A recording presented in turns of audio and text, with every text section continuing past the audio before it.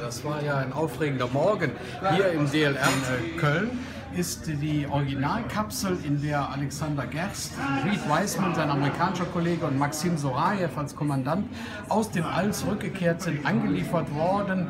Man sieht also richtig noch die Spuren dieses feurigen Rittes durch die Atmosphäre an der Kapsel. Innen drin auch noch die Ausstattung, ungefähr so wie die Kosmonauten sie bei der Landung dann verlassen haben. Natürlich sind die ganzen Projektgegenstände entfernt worden. Ich habe sogar hier noch eine Sicherheitsschraube geschenkt bekommen, die also an dieser Kapsel äh, angebracht war. Das steht jetzt äh, für den Tag der Luft- und Raumfahrt für das Publikum, was uns hier in Köln besucht, zur Verfügung, zur Besichtigung.